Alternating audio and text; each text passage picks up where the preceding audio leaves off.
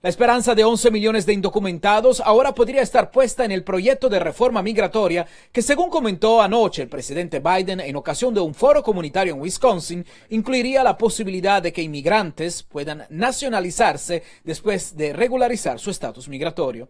Entendemos y sabemos que esto solamente puede pasar por medio del Congreso. Entonces, esto es una de las cosas que eh, el presidente Biden ha estado comentando durante su campaña y pues eh, como constituyente esperamos que realmente se pueda hacer el proceso. Para Nalamba, el líder comunitario, el camino para los indocumentados sigue muy largo. El cambio no va a venir automático, eso estamos conscientes. Por lo tanto, aunque se respira un, un poco más de tranquilidad, también existe la preocupación, especialmente porque sabemos que aún no existe nada y que muchos eh, que abusan de la comunidad están tomando esta oportunidad para decir, sí, podemos hacer esto, podemos hacer lo otro. Y es muy importante a nosotros como organización que nuestra comunidad entienda que aún no hay nada y, y que somos vulnerables a ser víctimas de fraude y que tenemos que estar informados.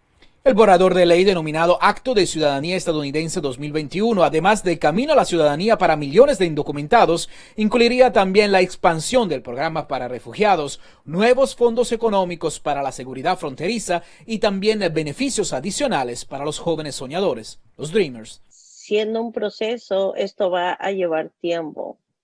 Por lo tanto, este es el tiempo de preparación que no corramos a pagar cientos o miles de dólares a gente que nos promete algo que no está todavía.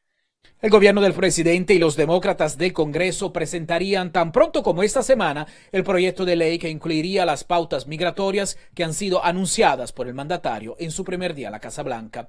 Para Noticias Univisión, Filippo Ferretti. Más tiempo contigo.